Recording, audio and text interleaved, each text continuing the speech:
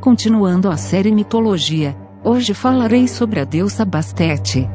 Ela é uma divindade solar e deusa da fertilidade, além de protetora das mulheres grávidas. Também tinha o poder sobre os eclipses solares.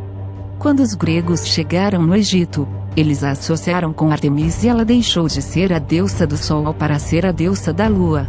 A deusa está presente no panteão desde a época da segunda dinastia.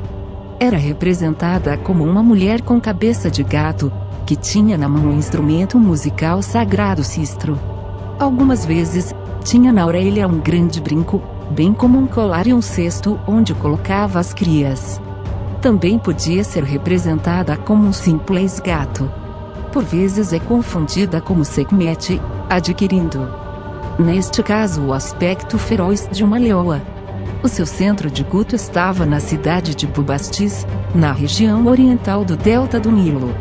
Nos seus templos foram criados gatos que eram considerados como encarnação da deusa que eram por essa razão tratados da melhor maneira possível.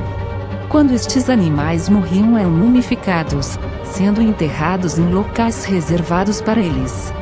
Os gatos no Antigo Egito eram muito reverenciados, em parte devido à sua capacidade de combater os parasitas, como ratos, ratazanas que ameaçavam o abastecimento de alimentos-chave e cobras.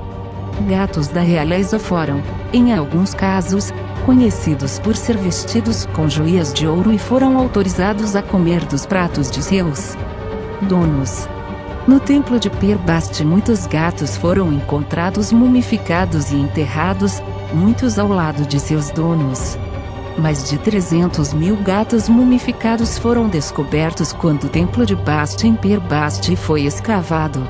A principal fonte de informações sobre o culto de Baste vem do historiador Heródoto, que visitou Bubastis volta de 450 a.C., durante o auge do culto. Ele a equiparou com a deusa grega Artemis. Ele escreveu extensivamente sobre o culto.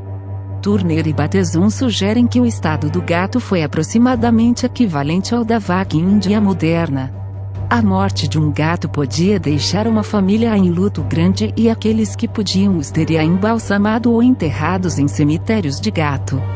Apontando para a grande prevalência do culto a ela. Enterros extensos de restos de gato foram encontrados não só em Bubastis, mas também em Beniasa e Saqqara. Em 1888, um fazendeiro descobriu uma trama de muitas centenas de milhares de gatos em Beniazan. A leoa representava a deusa da guerra e protetora das duas terras.